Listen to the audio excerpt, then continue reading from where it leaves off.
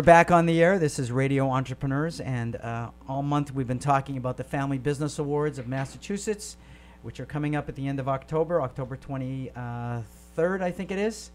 And I'm pretty excited. And our next guest is a multiple returning guest. I am a, a real junkie for her company.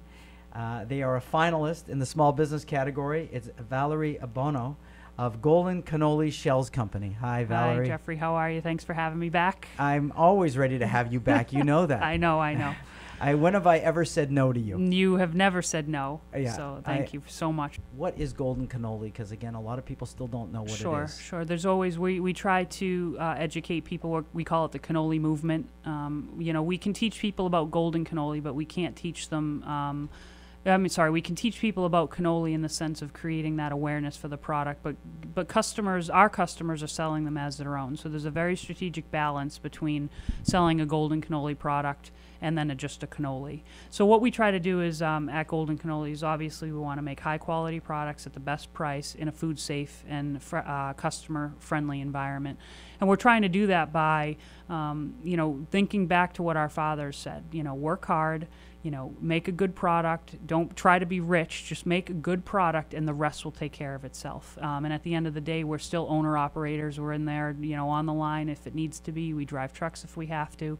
So we're really hands on in our business, and that's what I think has made success because when our employees see us working hard, they in turn work hard, and there's a passion for the product. Can you eat cannolis for breakfast? Absolutely. Throw some eggs and bacon in it and throw it in the oven. Why not? Oh my! Eggs and bacon and a cannoli. Yeah, if you do the sa- well, that's what we're transitioning into is the savory side of things as well. So we have uh, cannoli shells that are garnished with garlic powder and, and herbs. You can fill them with hot dogs and hamburger. You could put uh, meatballs and sauce and cheese. Bake them in the oven for 350 for five minutes, and you have an appetizer. I'm getting hungry.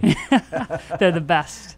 Very but versatile. I also think you know, uh, but hotels could be serving them on their dessert trays for breakfast as well. Sure, if they're if they can think outside the box, and that's what we're trying to do. Is is the cannoli shell is the holder for what you want to put in it, and the only limitation is your your th- thought process. If you can't think about something like a, eggs and bacon in a cannoli, then you can never make it and enjoy it. Oh, bacon goes with But everything ba- now. everything is with bacon. Everything's so, nowadays um, with so we're although we're holding on to that traditional cannoli experience of the traditional cannoli with ricotta, we also have to understand that our business um, we can't limit our growth by being so stuck in that box. So we've opened up the box and now we're jumping out and thinking of different ways of enjoying a cannoli. Now it's not just cannoli. You have a proprietary process to the way you create cannolis, correct? That's correct. I, I think cannoli are generally all made in the same way, but we have a lot of processing steps throughout throughout the the um, that 15 minute process that allows us to really make sure that we're making the golden cannoli and not just any other cannoli.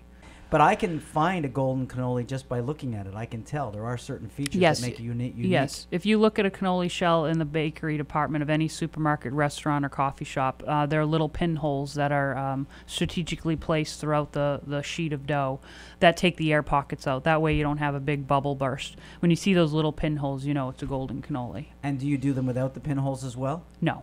So that is your brand. Yes. Yes.